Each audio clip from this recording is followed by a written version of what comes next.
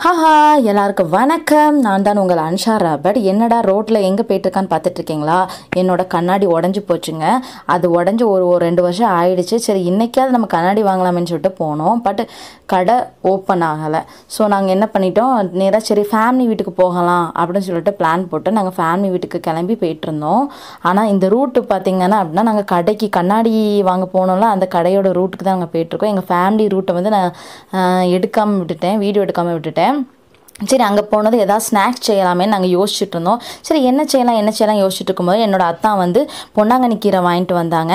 சரி திடீர்னு எனக்கு தோணிடுச்சு. சரி பொன்னாங்கண்ணி கீரையும் அவளையும் வச்சு ஒரு வடை வடை செஞ்சால் எப்படி தான் இருக்கும் அப்படின்னு சொல்லிட்டு செஞ்சுருக்கேன். வாங்க பார்க்கலாம். எப்படி செய்யலான்னு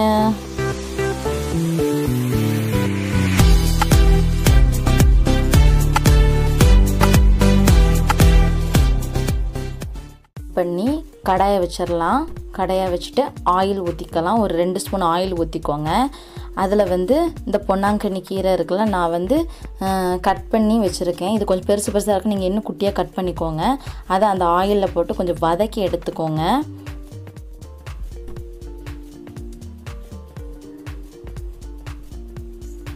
இந்த அளவுக்கு வதங்கினா போதும்.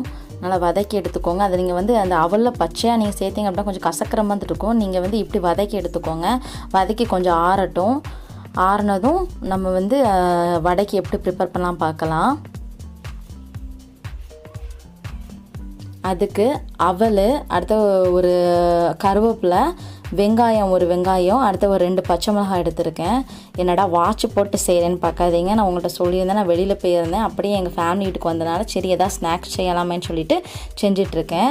இது வந்து நாங்கள் சம்பா எடுத்திருக்கோம். அது ரொம்ப ஹெல்த்திங்க அடுத்து தேங்காய் இருக்குல்ல தேங்காய் சீலை வந்து குட்டி குட்டியாக வெட்டி வச்சுருக்கோம். நீங்கள் இதை விட குட்டி குட்டியாக வெட்டினீங்கன்னா இன்னும் டேஸ்ட்டாக இருக்கும். அதில் வந்து அந்த பொன்னாங்கண்ணி கீரையை வந்து போட்டு நல்ல சரி தேவையான அளவு உப்பு போட்டுட்டு நீங்கள் விரைவிக்கோங்க. ஃபஸ்ட்டு விரைவிட்டு கொஞ்சம் கொஞ்சமாக தண்ணி ஊற்றி விரைவிக்கோங்க. நீங்கள் நிறைய தண்ணி ஊற்றிங்கன்னா சொத சொதன்னு ஆயிரும். அதனால் நீங்கள் கொஞ்சம் கொஞ்சமாக தொளிச்சு தொளிச்சு விரவுங்க.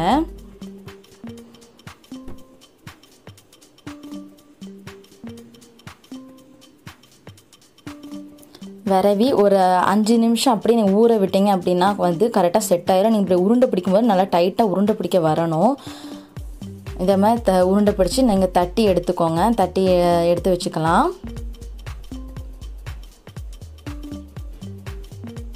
அப்படி எல்லா உருண்டையும் நான் வந்து தட்டி எடுத்து வச்சுட்டேன். அதுக்கப்புறம் அதே பாத்திரத்தில் ஆயில் ஊற்றி ஒன்று ஒன்றா போட்டு பொறிச்சு எடுத்துக்கலாம். நீங்கள் வந்து இது ஆயிலில் தான் பொறிக்கணும் இல்லை தோசைக்கல்ல கூட நீங்கள் வந்து சுட்டு எடுக்கிற மாதிரி எடுத்துக்கலாம். நம்ம கட்லெட் எப்படி சுட்டு எடுப்போமோ அதே மாதிரி நீங்கள் சுட்டு எடுத்துக்கலாம். அது கூட சூப்பராக இருக்குங்க. இது வெரி ஹெல்த்திங்க உங்களுக்கே தெரியும். சம்பாவுலேயும் நிறைய ஹெல்த் பெனிஃபிட் இருக்குது அது மட்டும் இல்லாமல் பொன்னாங்கண்ணி கீரையிலையும் இருக்குது நீங்கள் பிள்ளைங்களுக்கு இதை செஞ்சு கொடுக்கும்போது கீரையில் செஞ்சு கொடுக்கோன்னு தெரியாதெல்லாம் நல்லா சாப்பிடுவாங்க விரும்பி. நான் நானே இது ஃபஸ்ட் டைம் தான் செஞ்சேன். திடீர்னு யோசிச்சு. ஆனால் அது ஒரு செம டேஸ்ட்டாக இருந்துச்சு. நாங்கள் ரெண்டு டைப்பாகவும் செஞ்சுருந்தோம். பட் நான் உங்களுக்கு ஆயிலில் ஃப்ரை பண்ணது மட்டும் தான் காட்டியிருக்கேன்.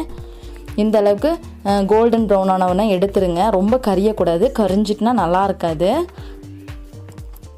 வாங்க பிளேட்டிங் பண்ணிடலாம் பார்த்தீங்களா ரொம்ப எம்மையான அவல் பொன்னாங்கண்ணி கீரை வடை ரெடி ஆகிடுச்சு நீங்களும் செஞ்சு பாருங்கள் குயிக்காக செஞ்சு பார்த்துடலாம் நீங்கள் செஞ்சு பார்த்துட்டு கமெண்ட் செக்ஷனில் சொல்லிடுங்க என்னோட வீடியோ உங்களுக்கு பிடிச்சிருந்துன்னா சப்ஸ்கிரைப் பண்ணுங்கள் லைக் பண்ணுங்கள் ஷேர் பண்ணுங்கள் பக்கத்தில் இருக்க மணியாக அடிச்சுட்டு போங்க. Have a nice day